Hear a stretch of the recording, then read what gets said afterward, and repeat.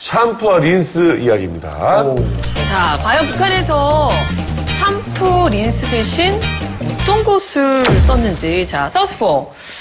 북한의 아, 야, 생필품. 이건 진짜 그건 어려운데요. 아까 너무 어려운 것 같아요. 뭔가 먹는 걸로 또 이렇게 머리 감지. 않을까? 창, 창포?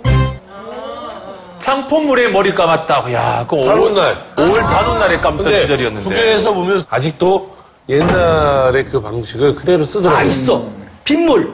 빗물을 담가가지고 머리 감았어요. 빗물도 맞아요. 빗물, 머리 좋아진다고. 빗물 받아서 오래 놔두면 그게 좀 미끈미끈해요. 그게 샴푸. 그걸로 머리를 감았어요. 자, 샴푸, 린스 대신 사용하는 북한의 생필품. 정답이 궁금한데요. 자, 공개해 주세요. 어, 빗물을 안 순물? 나 바로 맞 순물. 이현주 씨, 네. 순물이 뭡니까? 그 순두부 있잖아요, 우리. 예, 순두부 그 걸러지게 되면 거기서 그 두부를 짜게 되면 그 노란 물이 나오잖아요. 두부물이. 예, 그걸 순물이라고 그러죠. 북에서는 예, 초물이라고 그래요.